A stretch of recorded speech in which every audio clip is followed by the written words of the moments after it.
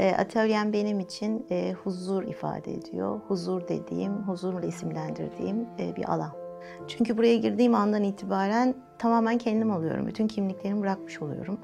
Aidiyet hissediyorum burada. Ee, renkler beni çok heyecanlandırıyor. Çünkü kullandığım renkler tamamen beni anlatıyor. İçimdeki bütün duyguları anlatıyor. O yüzden tamamen kendim olduğum, ben olduğum e, ve benim var olduğum bir yer. E, her şeyin bana ait olduğu, tamamen benim e, ruhumdan ve duygularımdan çıkan e, eserler olduğu için beni çok heyecanlandırıyor ve tamamen kendimin olduğu, çok mutlu hissettiğim bir yer öyle diyebilirim. Birçok kimliğimiz var hepimiz gibi. Benim de birçok kimliğim var. Ama burada benim, Ebru'yum. O yüzden e, burası benim gibi geliyor ve tek direkt ait olduğum yer burası herhalde hayatımda.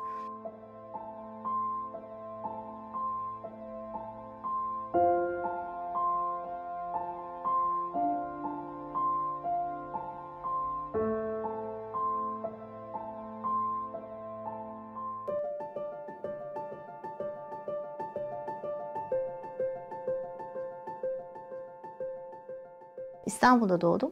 Levent'te doğdum. 3 yaşından itibaren şu anda bulunduğumuz mekanın yan dairesinde büyüdüm 15 yaşına kadar. Bütün çocukluğum bu mahallede geçti esasında. İki e, abim var. E, kuzenim bizimle büyüdü. Esasında üç kardeş diyebiliriz.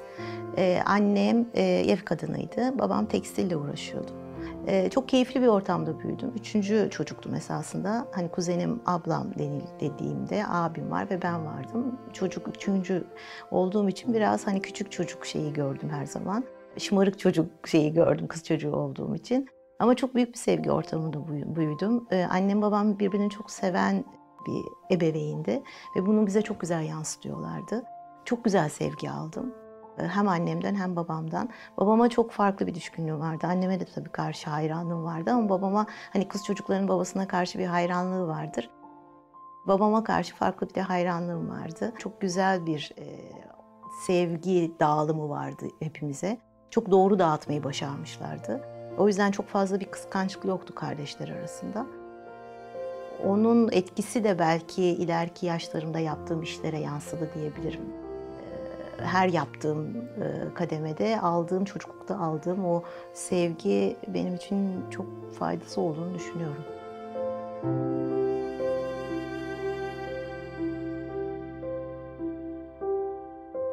Esasında çocukluk yıllarımda yani 12-13 yaşlarında e, vitrayla başladım ben çok apar. Ya kara kalem çizerek onları camlara çiziyordum kendim yaptığım kara kalemi. E, daha sonra da boyuyordum. Ama tamamen kendim yaptım. Yani kimsenin bana öğrettiği bir yöntem değildi bu.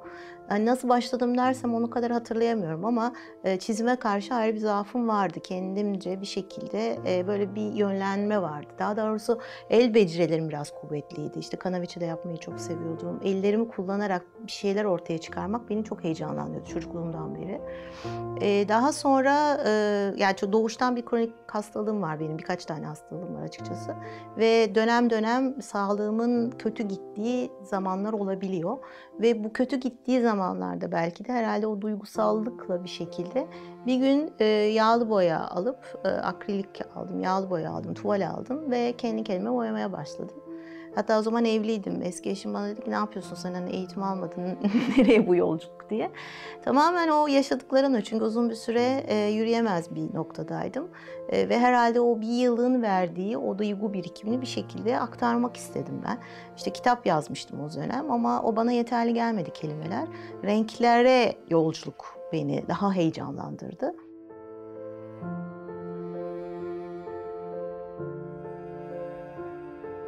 Yağlı boya serüveni devam ederken e, Ebru birazcık beni düşüncesi heyecanlandırıyordu Ebru sanatı.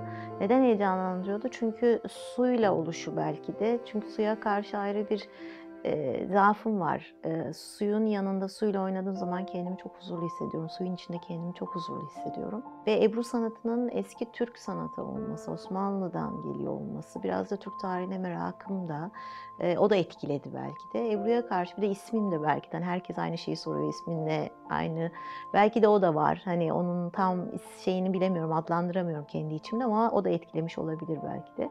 E, ve 2009 yılında vakfın 15 yılıydı ve bir hediye vermek istedik. bir gece düzenledik e, ve sponsorlarımıza bir hediye takdim edecektik. Ve o gün nasıl oldu? Ben e, Ebru sanatıyla yapılan eserleri sertifika haline getirelim ve hediye verelim dedim. E, bir Ebru ustası bulduk. E, Ali Bey, Ali Saraçoğlu. E, Buradan da ona selam olsun çünkü bende çok büyük emeği var kendisinin. E, Ali Bey ile görüştük. Ali Bey sağ olsun bize çok güzel eserler hazırladı ve e, eserlerini onun hazırladıklarını takdim ettik biz de sponsorlarımıza.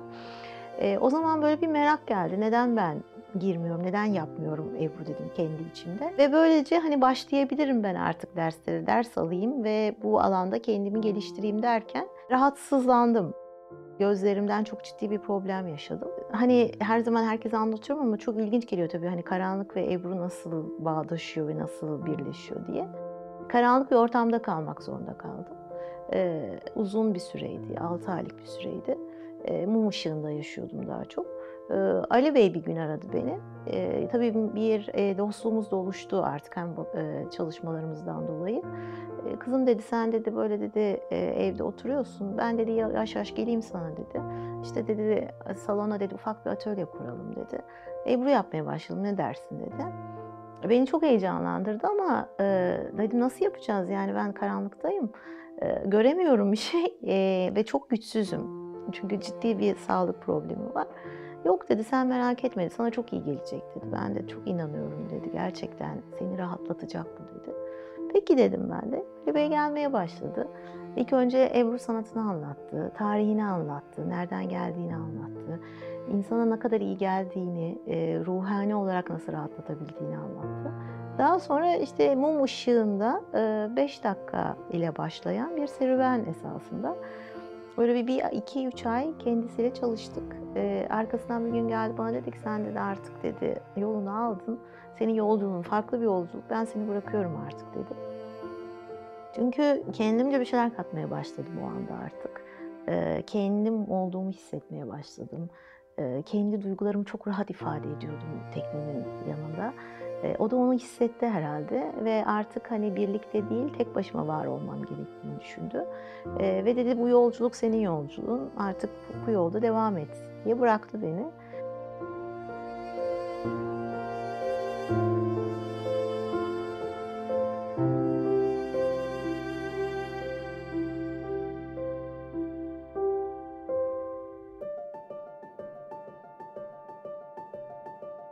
Bana göre e, Ebru sanatı duyguların e, renklerle buluşması e, ve suda dansı tarif edebilirim Ebru denildiğinde. Çünkü duygularımı tamamen renklere aksediyorum. E, ve renkler de suyla dokunuyor ve orada şekilleniyor.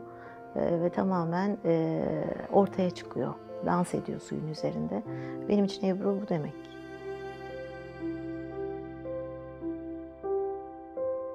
Klasik olmayı çok seven bir insan değilim yapı olarak. Modlarda kalmak, herkesin yaptığını yapmak beni çok mutlu eden bir şey değil. Bu biraz daha belki de aykırı olmamı sağlıyor. Bu sanat dalını da güncelliğe sokabilmek, herkesin rahat alabileceği, algılayabileceği hale getirebilmek de beni biraz daha ayrıştırıyor esasında. E, klasik Ebru sanatçılarından. E, çok atıl kalması, bu kadar değerli bir sanat dalının e, sadece belli e, formlarda şekillenmesi beni biraz huzursuz etti, mutsuz etti. Çünkü çok hayran olduğum ve çok keyif aldığım bir sanat dalı. O yüzden de biraz daha kendi içimdekileri aktarabildiğim, rahat olabildiğim, duygularımı özgürce ifade edebildiğim e, şekilleri hale getirmek istedim. Yani Ebru'yu o şekile getirmek istedim ben. E, beni biraz klasikçilikten ayıran o esasında. Daha fazla duygumu katıyorum, daha fazla sanatımı katıyorum. Daha fazla içimdeki olan o bütün iniş çıkışları aktarmaya çalışıyorum. Daha özgür oluyorum. Daha şekillerin içinde, kalıpların içinde kalmıyorum. Çünkü böyle olduğum zaman herkesin duygularını bir şekilde esasında ifade edebiliyorum. Çünkü herkes eserlerimde kendinden bir şeyler bulabiliyor. Ama öbürlerinde çok atılsınız, çok kısıtlı kalmışsınız. Hani belli formlar var. E, bu olmamalı. E, bu dönemde bu olmamalı belki de. Belki eski dönemlerde o şekillerdeydi ama şimdi artık günümüzde bunu güncelleyebiliriz, şekillendirebiliriz. Kendimizi çok daha doğru anlatabiliriz. E, Ebru tekniğini kullanarak e, tamamen sanatı e, özgürce aktarabilmeye çalışıyorum Ebru'da. Biraz daha farkım bu diyebiliriz.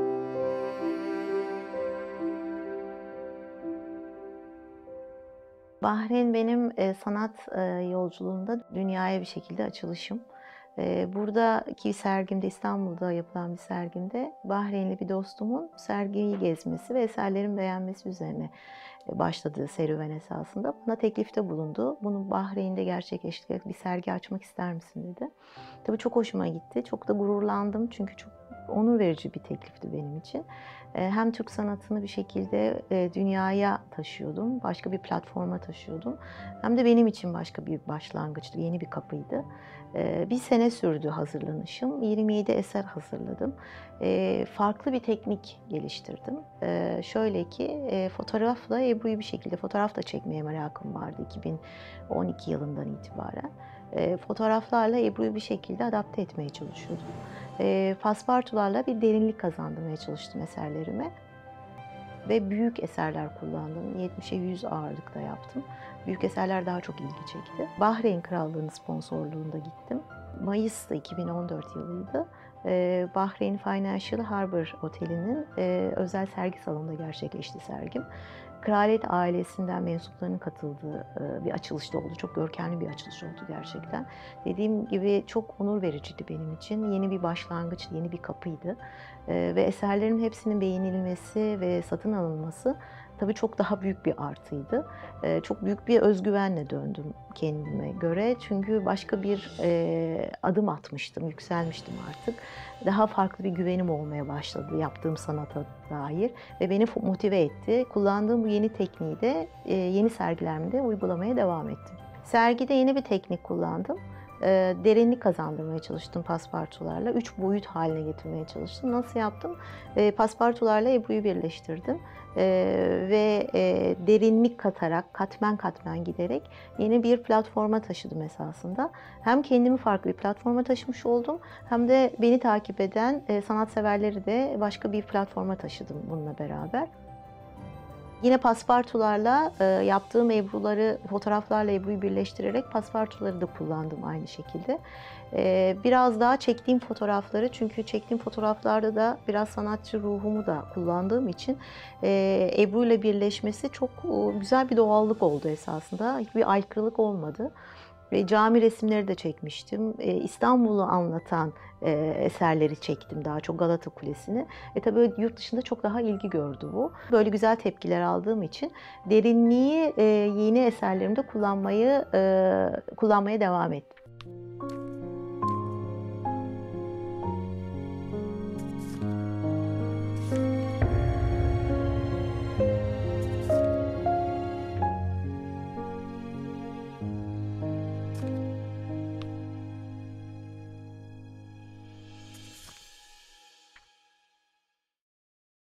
Sanat yapmam adına baktığımızda her şey beni etkileyebiliyor o alanda. Çok açık. Ee, hani beni şu etkiledi deyip de ben Ebru yapmaya başladım diyemem. Ama müzik e, olmaz olmazı Ebru yaparken hayatımda. Ee, ne bileyim ben Bach dinlerken çok huzurlu hissediyorum Ebru yaparken kendimi. Beni çok etkiliyor. Çok şevklendiriyor, çok motive ediyor e, onu dinlemek farklı bir alana götürüyor beni. Ama e, şu bir isim veremem. Hani bu beni sanatımda etkiledi de onun sanatından. Ama sergileri seyretmek, eserleri görmek farklı bir çağrışımda yaratabiliyor. Benim eserime başka bir katkıda sağlayabiliyor, onu diyebilirim. Yeni bir tekniği seyretmek, bunu Ebru'da niye uygulamıyorum sorusunu getiriyor bana. Ve Ebru'da uygulamaya başlıyorum o tekniği kendim, kendimce ifade etmeye çalışıyorum. Ama hani birine sorarak, e, bir şeyler öğrenerek değil de daha çok kendim yaratarak yapmayı daha çok seviyorum. Gözlemleyip, e, gözlemlemeyi çok seven bir insanım hani hayata dair. Gözlemlemelerimden şeyler elde edip e, kendim bulmaya çalışıyorum. O tekniği kendim yaratmaya çalışıyorum. Kullanılmış şeyi çok seven e, bir insan değilim. Kendimce e, onu kendime adapte etmeye çalışıyorum. Ama muhakkak Ebru ile buluşturmaya çalışıyorum bir şekilde.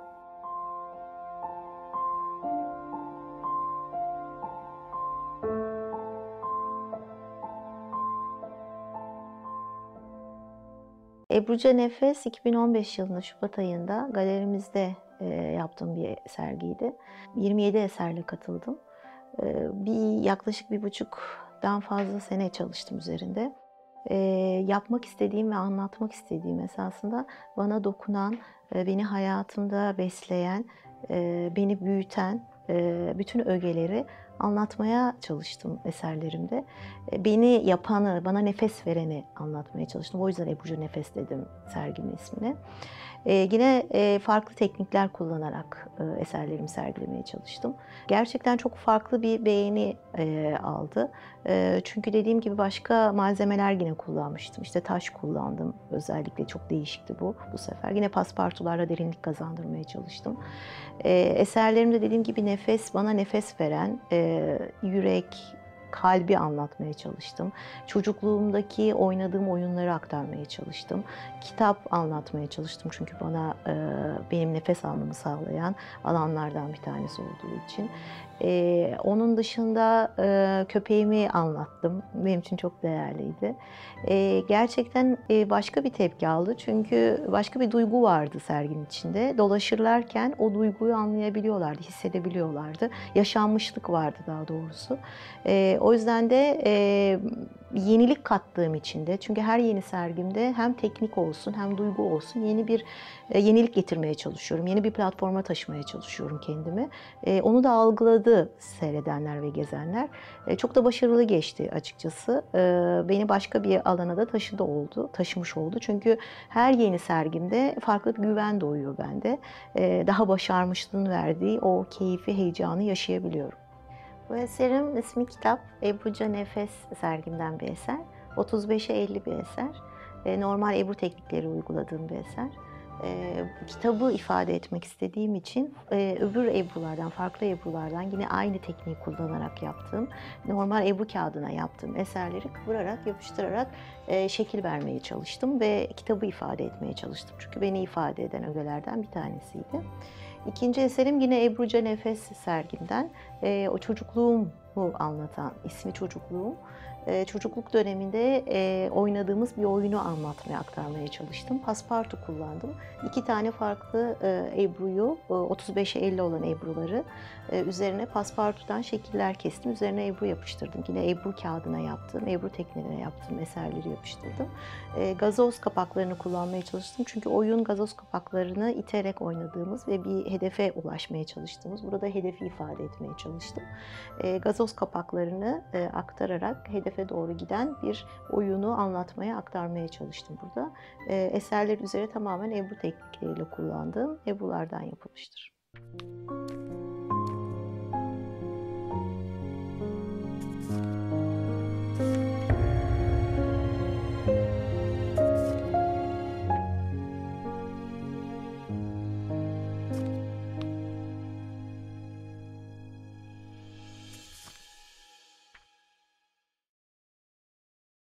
Ebru sanatının güncel sanata uyarlanan bir dili olduğunu kesinlikle düşünüyorum.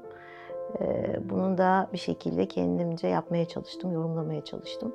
Ee, bunun yıllar sonra farklı bir şekilde de yorumlanacağını düşünüyorum. Kesinlikle var yani güncel sanata yorumlanabilir Ebru sanatı. Çünkü e, sanat e, çok e, her şekilde çok rahat, esnek kullanabileceğim bir alan olduğunu düşünüyorum.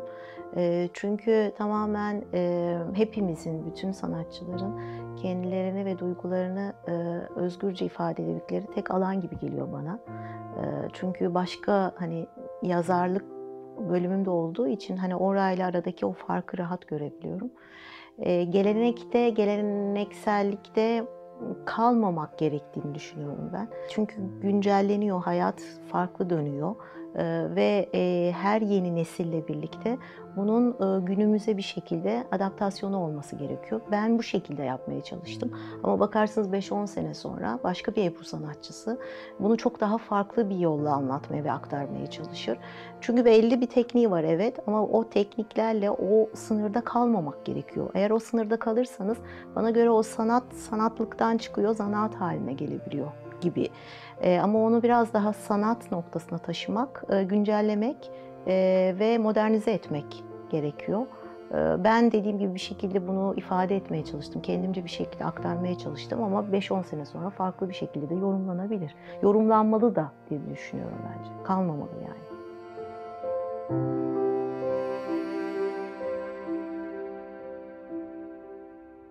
Her sergimde esasında e, yeni bir alana taşıyorum kendimi, yeni bir kapı açmaya çalışıyorum.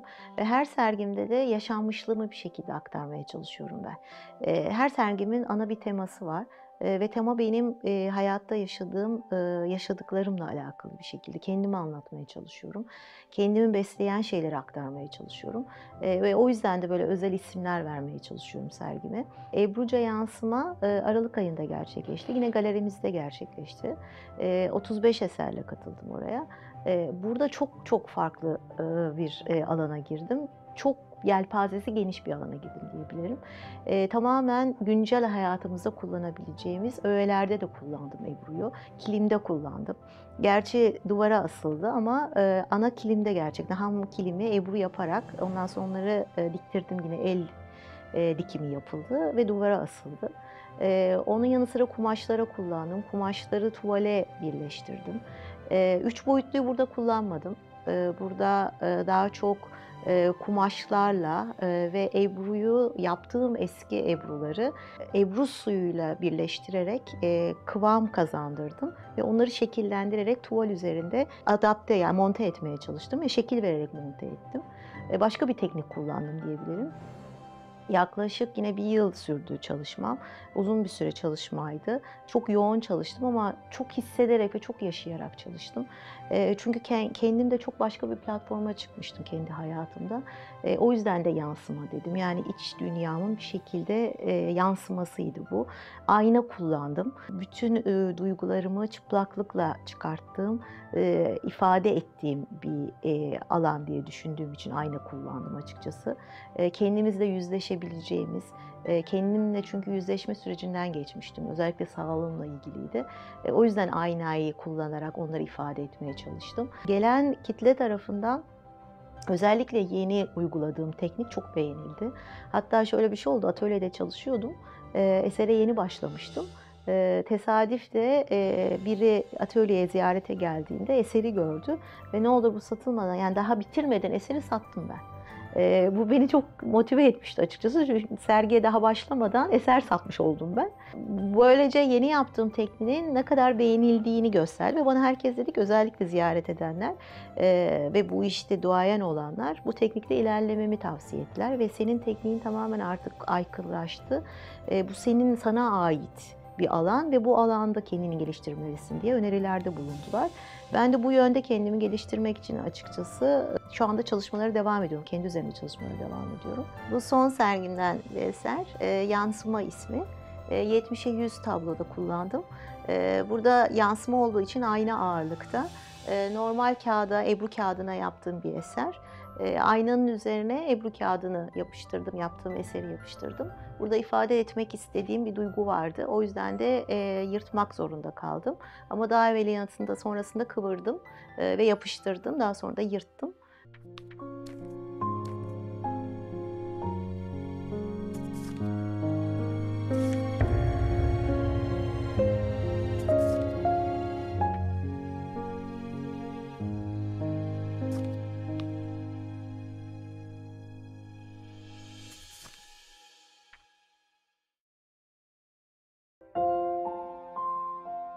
Günümüzde yaşam şartları, yaşadıklarımız bizi hayallerimizden uzaklaştırıyor. Bazen hayallerimizin farkına varamayabiliyoruz veya hayallerimizin peşinden gidemeye cesareti gösteremiyoruz kendi içimizde. Ama ben e, hayat yolculuğumda iç sesimi doğru dinlemeyi hep başarmaya çalıştım. Çünkü iç sesim benim gerçek hayalimi yansıtıyordu. Yaptığım her işte hayal kurmaktan korkmadım ve kurduğum hayale hep inandım. Aktarmaya ve yansıtmaya çalıştığım herkese hayalinizden peşinden gitmeye korkmayın. Ve gerçekten gerçek hayaliniz olduğuna inanın. Eğer yüreğiniz bunu söylüyorsa bir zamanda o gerçekleşir ve hayata geçer.